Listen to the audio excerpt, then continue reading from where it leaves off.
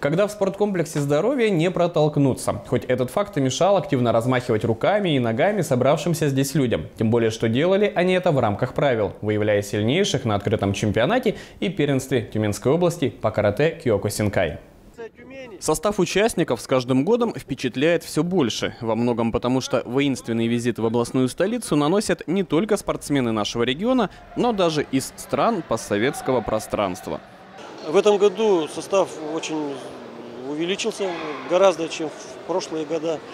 Э, в, этот, в этом году у нас собралось 460, 469 бойцов из разных э, муниципальных образований Тюменской области. Ну и, как всегда, традиционно гости, наши друзья из Екатеринбурга, с Казахстана и весь север, как всегда. Именно из Свердловской области прибыл самый именитый мастер японского боевого искусства. Правда, в качестве тренера. Наиболее интересным для меня был именно этот вид спорта. А, э, других для себя я не выделил, хотя я занимался параллельно и, и боксом, и самбо, но карате киокусинкай для меня показался самым интересным, э, зрелищным, э, и для меня он стал открытием. Поэтому я начал его изучать и продолжаю совершенствовать себя именно в этом стиле. Евгений Мамро является двухкратным чемпионом мира. На турнире 17 его подопечных защищали цвета клуба «Идущие к солнцу». В роли наставника Евгений уже обжился и ставит перед собой все более впечатляющие цели, наполненные философией, помноженной на личный богатый боевой опыт. Так же, как и в спортивной составляющей, э, тяжело в начале пути, а дальше уже, э, если ты делаешь все правильно, растешь, развиваешься, то подстраиваешься под уровень и темп, который задают другие спортсмены, ты растешь вместе с ними. Э, это интересно. Э, это мы растем и побеждаем.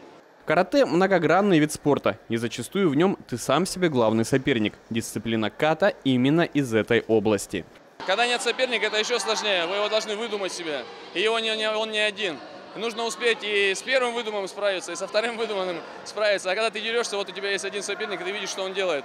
И ты можешь предсказать, куда он пойдет. Ты можешь, в принципе, его остановить. А здесь уже совершенно другая работа. Потому что здесь нужно соблюдать и темпо, ритм, и силу, и дыхание, и успокоение, взрыв. То есть очень много критериев, по которым оценивают. Поэтому приходится работать практически каждый день. Э, времени уходит много.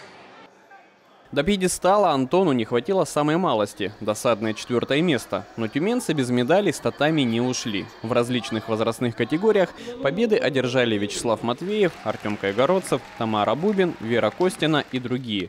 Они, а также призеры областного турнира, примут участие в чемпионате Уральского федерального округа, который пройдет в конце марта в Новом Уренгое.